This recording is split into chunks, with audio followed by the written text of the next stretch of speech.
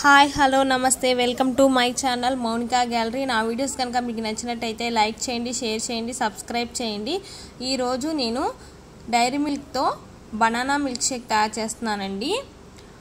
Banana milk షేక్కి చాక్లెట్తో చేస్తున్నాను. Dairy milk banana milk shake అండి ఇది.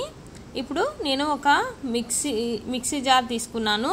దాంట్లో ఒక అరటిపండు తీసుకున్నానండి. దాన్ని ముక్కలుగా చేసుకున్నాను.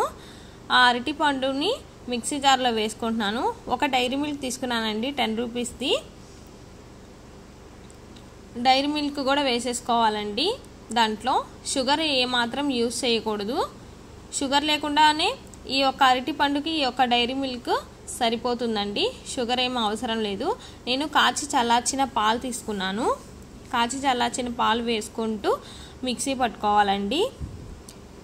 మిక్సీ పట్టుకొని తర్వాత దాంట్లో ఐస్ క్యూబ్స్ వేసుకున్నాను. తగినంత పాలు వేసుకున్నాను. మళ్ళీ మిక్సీ పట్టుకున్నానండి. అయిపోయింది. ఎంతో టేస్ట్గా ఉంటుందండి. చిన్నపిల్లలు పెద్దోళ్ళు అందరూ లైక్ చేస్తారు. చాలా బాగుంటుందండి. మీ పిల్లలు అరటిపండు తినకపోతే ఇట్లా చేసి పెట్టండి. చాలా బాగుంటుంది. Banana chocolate milk shake ready అయిపోయిందండి. గ్లాస్లోకి తీసేసుకున్నాము.